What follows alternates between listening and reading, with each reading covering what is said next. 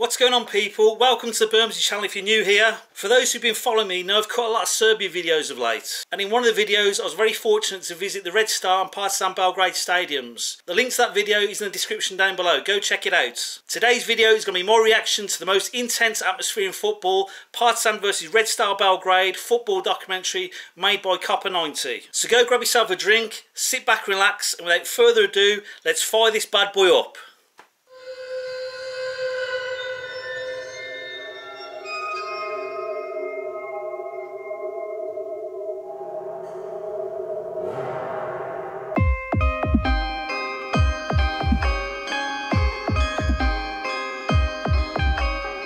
These are the games that create an atmosphere like no other. These are the games that can make a war zone of a city. These are derby days. Tackle.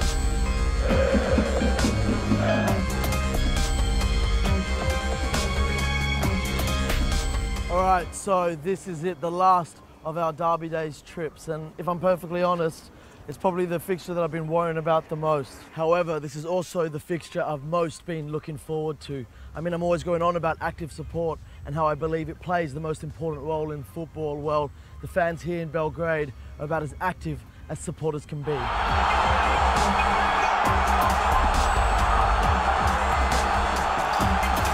at that. Partizan, it's Red Star, it's the eternal derby. The Belgrade Derby is one of the most special, unique football games in the world. It's part of you, it defines you. Your whole city and whole country is speaking only about football. It's one of the things that defines a city. The clubs are so important to the identity of the city. Pa dobro, ovde, ovde cele nedelje pred derbi se osjeća velika, i na, na ulici, i u kafićima, u, u, svuda je prisutna ta atmosfera pred derbi. But the whole country stops and watches the game. And if you want to experience the atmosphere and the city properly, you need to see uh, the derby game. U karijeri sam igrao još jedan derbi u Italiji između Genove i Sampdorije i tamo isto vruć derbi, navijači su fenomenalni, ali mislim da, da, da, da, da je ovo jedan od posljednjih derbija gdje su navijači tako vrući kao, kao, kao, kao ovdje u Beogradu. Sport was always a way to, to just exert your your stresses, uh, to exert your passion, you know, to show, to have a break from everyday life because it's not easy here. people don't have money, people can't travel, people don't have what to do else just to go to the football. So that your, your average 14-year-old, 15-year-old, 16-year-old, when, they, when it comes to derby day, for them that's it. That's that day that they've been waiting for. That's that day to scream the loudest, to shout the loudest, to show why you're better than the opposition. They release their tensions. Yeah, yeah, too many tension around in normal life, so you Doing need some now. place where you can uh, expel that tension. And that's what I think just is the magic about football. You forget about life for 90 minutes. And in Belgrade, that's where it's special. This match is notorious the world over for the behaviour of its fans, and I want to find out just how much of this reputation is justified and what attending the Belgrade Derby is really like. Pa ja mogu da samo jedno da kažem da su naši navijači najbolji na svetu i mislim da su najvatreniji na svetu. Yeah, definitely both uh, both teams have very good support. This part of the Europe have lots of passion. Greeks are a passionable nation, Serbs are passionable nation. A ovo je, ovo je Balkan i ovdje, ovdje je sve vruće, tako da, da, da mi smo malo posebni što se tiče toga. This part of the Europe is uh, uh, people with uh, warm blood. Two big clubs and same same place. They that's the reason what they they Ex-Evertonese, always I fighting between them who is best. In the 80s, the people didn't hate so much, like, but now it's crazy. The clubs that drive these two sets of supporters so crazy were formed in the aftermath of the Second World War when the communist president Tito took over the country. Both clubs um, were established in, on the ashes uh, of this country after World War II.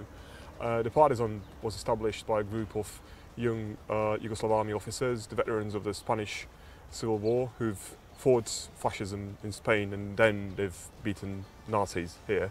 Partizan was a team of uh, army, and uh, the Red Star was being team of of uh, policy. for Partizan, it's like they represent army, and for Red Star, there is a story they represent the police. But um, the urban, the other legend says that uh, Red Star was the people's club and like some kind of the re reaction to the communism because people didn't like communism and they wanted to have something on their own. Youth of uh, Belgrade said, okay, we must have a club. Let us found some club. So that was the day of 4 March 1945, and it exists from that days, and everything else is history. Despite great success in the intervening years, including a European Cup win for Red Star in 1991, today the clubs are almost better known for the fans' behaviour off the pitch than the players' exploits on it.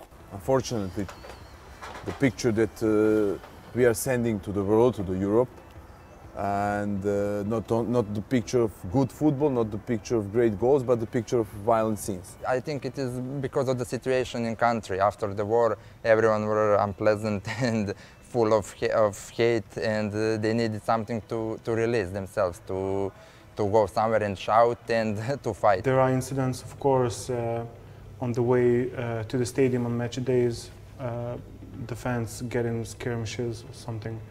But uh, those are the fans who really like that sort of thing. I don't like collectivity uh, guilty. I like personal guilt. I make uh, something bad, I'm guilty. Not all of us. One of the problems I've had when looking into this derby is that when you start reading up on the Ultras, it doesn't take long before you come across some pretty disturbing stories and accusations. But I refuse to accept that that's all there is to it. I want to find out how representative these violent elements are and see what else is driving the incredible passion of this derby. I can't say that uh, the reputation is entirely unjustified. It's somewhat fair, but uh, I think uh, it's not as bad as people think.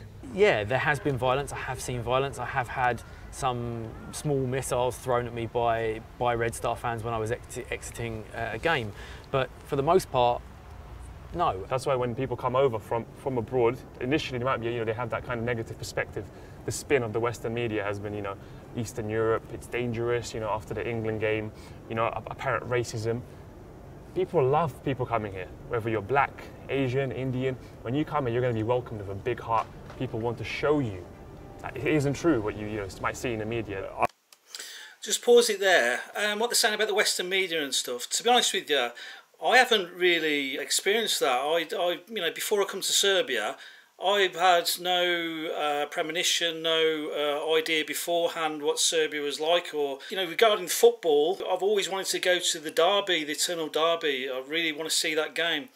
But yeah, regards to Western media uh, putting uh, Serbia in a bad light or the football in a bad light, I've never seen that personally. So I go into a, a country with my eyes wide open, and to be honest with you, I met uh, Red Star fans, Partizan fans and uh, like the guy said there, I felt, you know, nothing but warmth off people.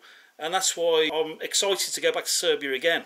I think that there's, there's much more to this rivalry than just, just violence. I feel it's fantastic because uh, people here, fans here, sing all the time, all 90 minutes. Every one of your senses will be completely alive. People here feel like they've been hard done by, you know? They, they haven't had the opportunity to show a positive light.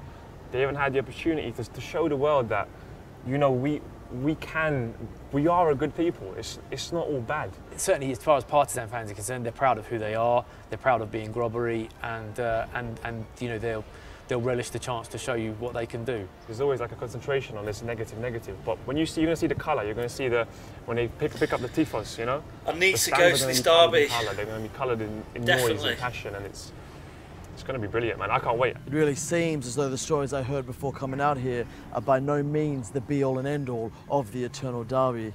However, I am still a little apprehensive about game day itself. Expect to see some things that you probably haven't seen in England for a while. I think on the derby day lots of tension is around city because too many police. On every corner is police standing, not only normal police but robocops. You're deaf. That's like in England. Uh, with football in the 80s in England, well, 70s and 80s, there was a lot of trouble.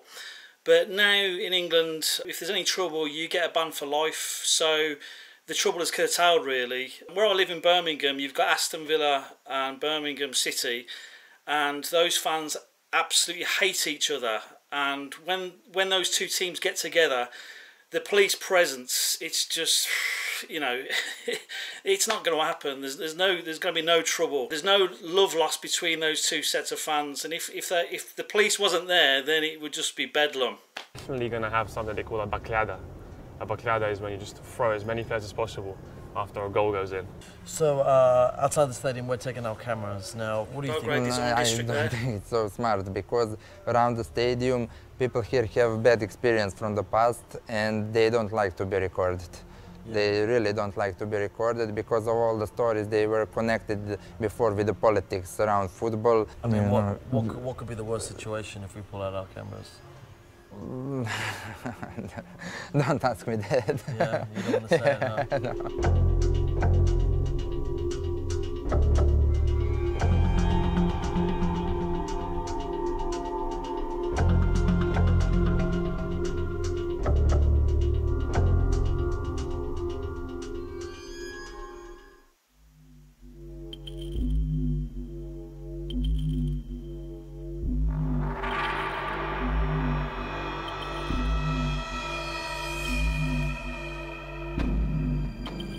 Still early here in Belgrade, and we haven't really come across many fans yet. All we're really seeing is a lot, I mean, a lot of riot police. However, it doesn't matter because for the first time on Derby days, we're headed into the stadium early. Why? Because we have gained access like never before. We are closer to the action than we've ever been before. You are going to see Derby days like you've never seen before.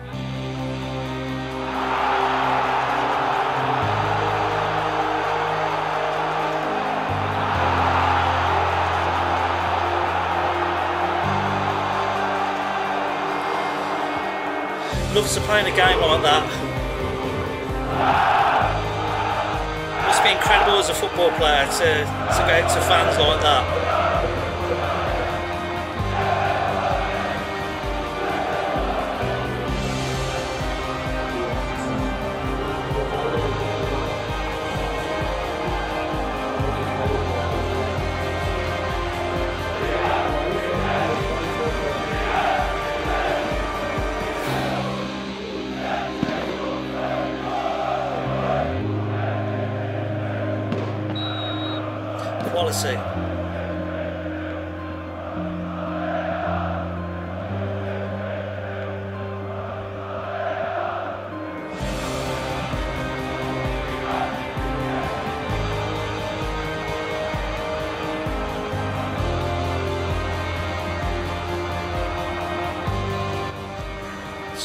Flying in there.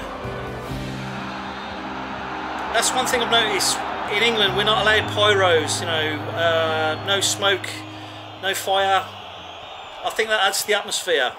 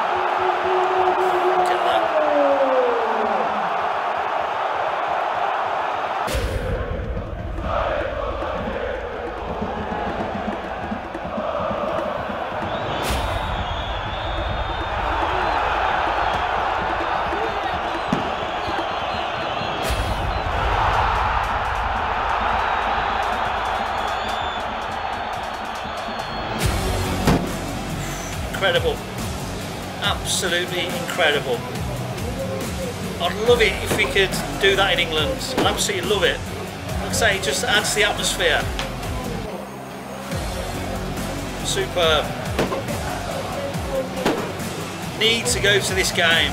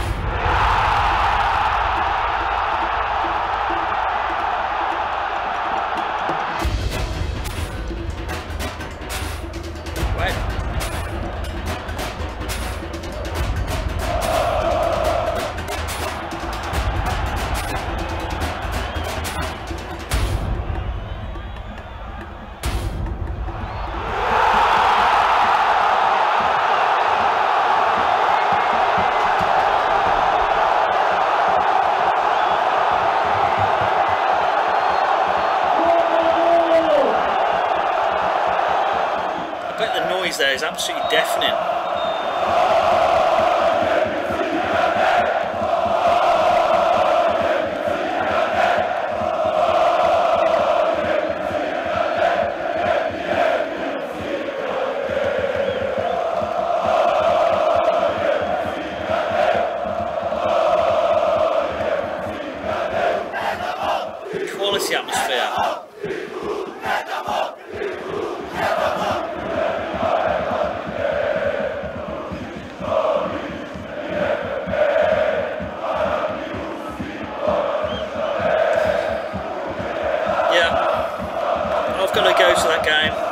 100%.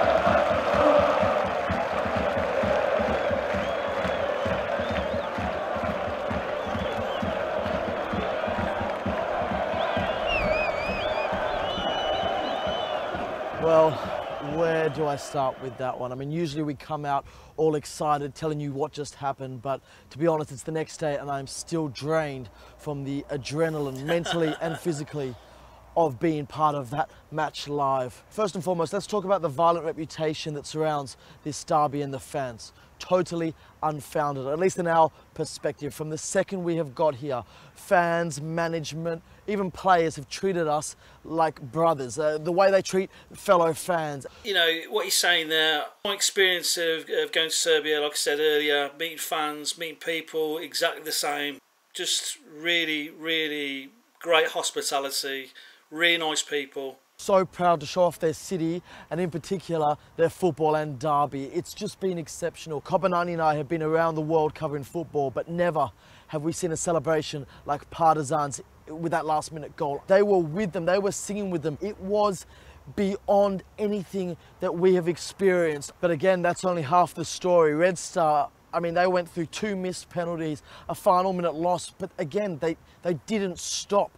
At the end of the game, instead of booing, they made their players come over to them and they sang their love for them. The only negative element That's we great. saw was when a small, and I mean a very small element of the Red Star fans set fire to some seats in the Partizan Stadium. But that honestly paled in comparison to the celebration that was this match day. You can see why it is so special to the people of this city. Yes, they don't have the best football on the pitch, but football, as we've been saying throughout this whole series, is all about effort, and boy, do they have something special.